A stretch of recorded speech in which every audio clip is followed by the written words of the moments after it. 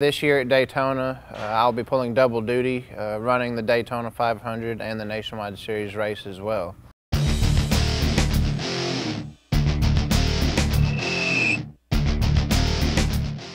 you know, the, the Daytona 500 itself uh, is the Super Bowl of NASCAR.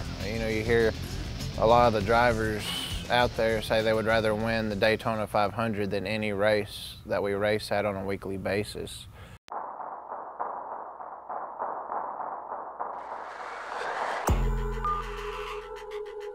You know, obviously there's a lot of iconic names uh, that have, have, won that race, but um, you know, Dale Earnhardt, you know, was who I idolized and who I grew up watching on TV, and um, you know, really loved his attitude and his demeanor and his, you know, get after their tail uh, mentality, you know, when he climbed in behind the wheel of a race car.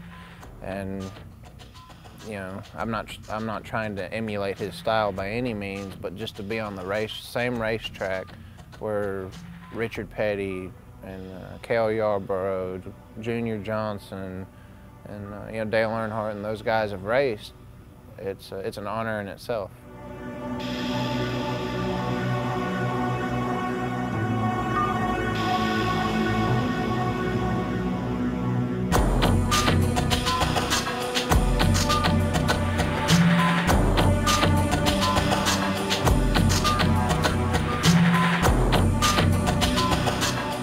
Not only uh, you know driving on the on the speedway uh, is a lot of fun, but it's also fun, I guess, from a, a, fan's perspective. You know, Daytona Speedway is probably one of the most fan-friendly racetracks that we race at.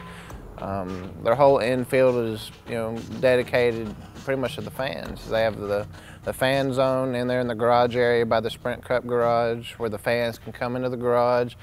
Um, they can shop for souvenirs, you know, snack on food, things of that sort. But they also kind of get a behind the scenes tour of what goes on in the garage area. They have windows that they can peer through to, to watch the crews, you know, work on the cars while the cars are out on the racetrack practicing and, and making adjustments and things of that sort.